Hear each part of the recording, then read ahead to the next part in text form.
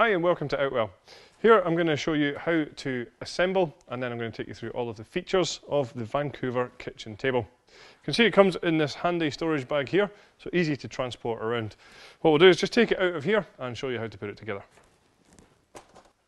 So to set it up, it's nice and simple. We just grab the middle frame here and all we do is open it out like this and we'll just push the middle section down into place.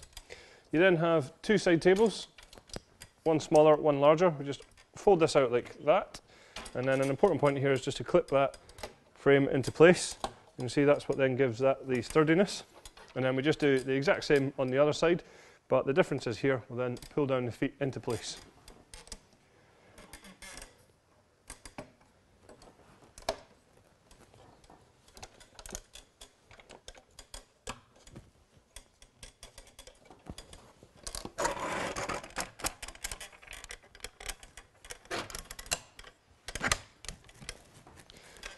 So you can then see that the frame is already set in place and already nice and sturdy.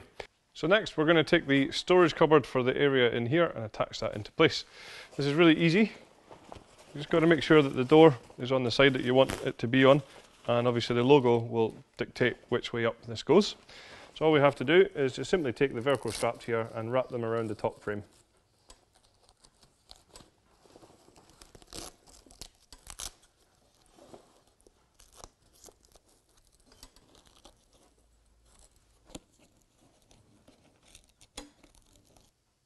So now that the top has been attached to the frame, we're just going to take the shelving unit for inside it, and that will help take its shape, and then we'll attach the bottom Velcro straps.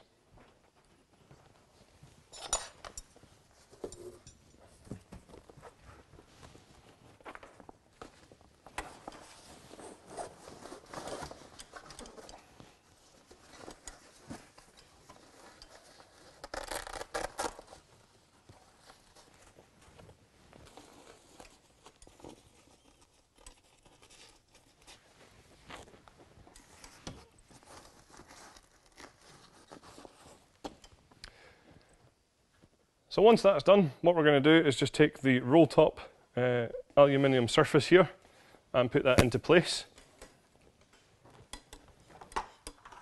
What you'll find is on the underside of this, you have these clips which just clip directly onto the frame here. And a good tip is just to make sure that the Velcro tabs of the cupboard are on the outside of your clips.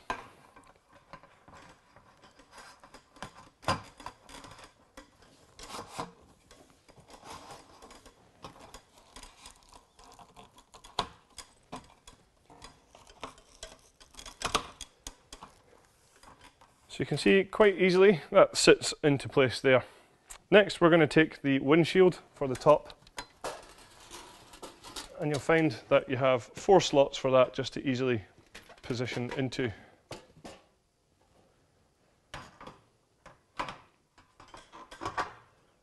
So you can see there you then have a good sized cooking area on top. So the last thing to then do is take the additional uh, net shelf and put that into place on this side here. So what you'll find is that you have one rod slightly longer than the other side. So the long side just sits in the middle section and the shorter on the outside.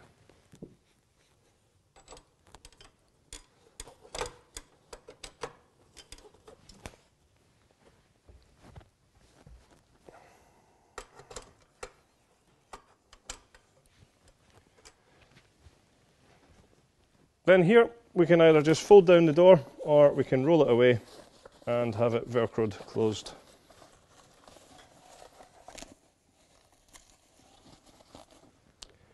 So there we have the setup for the Vancouver. Now we'll just talk you through the features. So the frame that we have on here is a lightweight aluminium frame. Uh, you've already seen just how easy it is to fold and open up. Um, this actually still has a maximum load of 30 kilograms, even though it is nice and lightweight. We then have the two side tables that we pointed out earlier on, and the surface on these is made of bamboo. One of the nice things about bamboo is it's actually very heat resistant, so uh, it's not going to sort of damage the bamboo sitting hot things on there. And also, it's very stain resistant as well, so it'll keep that nice finish uh, for a lot longer too. So at the top, we then have our cooking area, and as we highlighted earlier, you have the windshield on here, which gives you a good sheltered space for your cooker. And then underneath, you have a good sized storage unit as you can see here, it's plenty of space for larger pots and pans and things like this. And of course, we also then have our small mesh shelf just under here too. So that's all the features of our Vancouver kitchen table. Thanks very much for watching.